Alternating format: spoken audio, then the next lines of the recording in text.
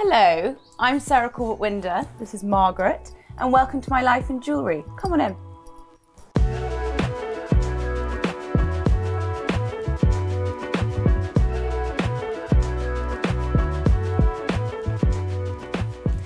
So the first thing I want to talk to you about, which I really love, is my engagement ring. It began life as a very thin, very beautiful cocktail ring with sapphires around it. But I'm quite I'm going to say heavy handed. I'm not your most elegant girl. My husband will be laughing watching this. And I pulled it on the bin, I broke it on a seatbelt. It was, it was just not really working for my heavy handed lifestyle. So we had it reset. We kept the original diamond and then we popped a couple of emeralds in either side. And I love the chunkiness of the ring. And I think if I got engaged now, this is exactly what I'd be after. I was joking with Ned saying that we should do it every 10 years, have an upgrade. But with the sapphires that were around the ring, we managed to create this, I'm gonna call it a bomb ring as well, which has also got the black diamonds which are in my wedding ring. And so I've got two wonderful big chunky rings now. While we're on marriage and engagement, I've got something to show you.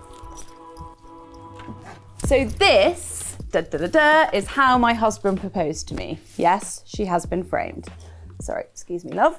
Um, so I used to work in a shop and I drank one of those very complicated soya sugar-free hazelnut la la lattes, as we all did back in our day. And Ned went and bought me one for um, as he came into the shop to see me in the morning. He comes around the corner with two coffees in his hand, this one included.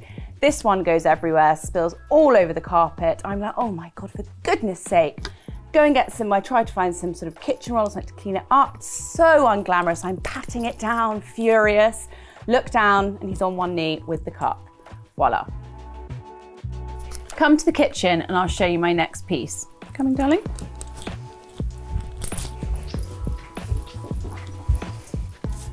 So the kitchen, this is probably where we spend most of our time. It really is the heart of the house.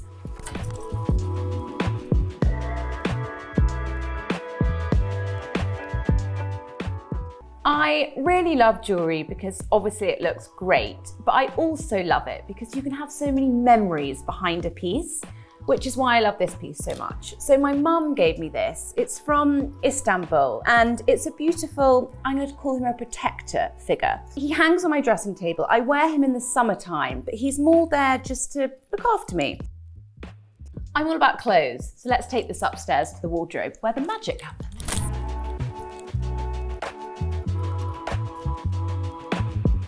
Welcome to my world. I'm a clothes addict, but I'm also a stylist. So clothes are super important to me. And what I love most about them is that you can really express yourself. So I take great joy in putting on my armor for the day every morning. But of course, no outfit is complete without your jewels. So let me take you over to my dressing table.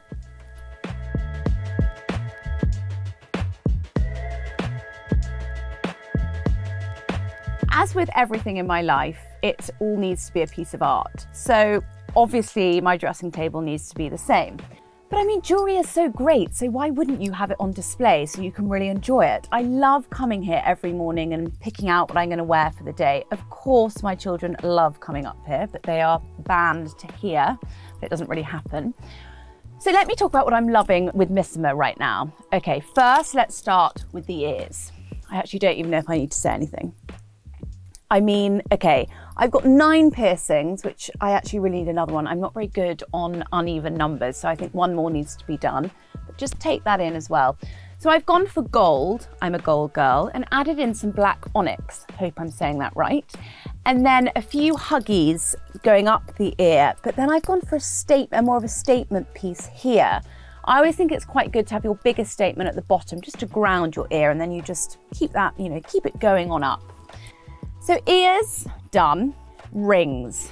I mean, again, where do we start with this? So gold and black onyx as well. We've got a bit of a waffle ring, we've got a twisted ring, we've got a pinky ring. I just think more is more, obviously. More, I'm definitely a maximalist. And then necklaces. So I'm all about layering. And I used to be about layering thin chains, but I've now, I feel like I've matured, I've upgraded. So I'm now about chunky chains. I'm actually wearing two chunky chains. They're the same, but this is made slightly shorter. But let me just give you a real look at her. Firstly, let's just look at the way she's connecting. I mean, it's just, I just love it. It's so chic.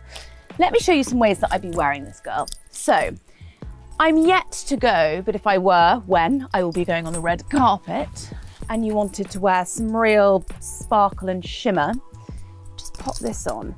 I'd probably make her a bit shorter just so she's a bit more like, a little bit like this, a bit more like a choker, but it just really completes the look and gold on gold, great. If I was going for like an everyday, really casual look, I would probably be in this department, which is the white shirt department. I mean, this for me, you just can't go wrong. Get that button undone one little bit too low, your cuffs up. So chic, so expensive looking. Now, if you're not on the red carpet, but you're wanting to go out, let's say date night, dinner, just a good evening look, I would go a very simple black tux. So imagine I've got some black tux trousers and then just a black tux blazer. I mean, that's just a killer. Maybe a bit of a red lip. I'd probably go for a loafer actually with this, just to really complete the look. Oh gosh, I almost forgot. Okay, so my favorite, well, my last favorite piece is this da, da, da, necklace, which Ned very sweetly gave me on our wedding day. I mean, I love a gift, but I was not expecting another gift on our wedding day. So it's got our initials on it and um, the date that we got married. And I've just got it on this lovely Harris Reed chain and it just slots in there. Always on, always there.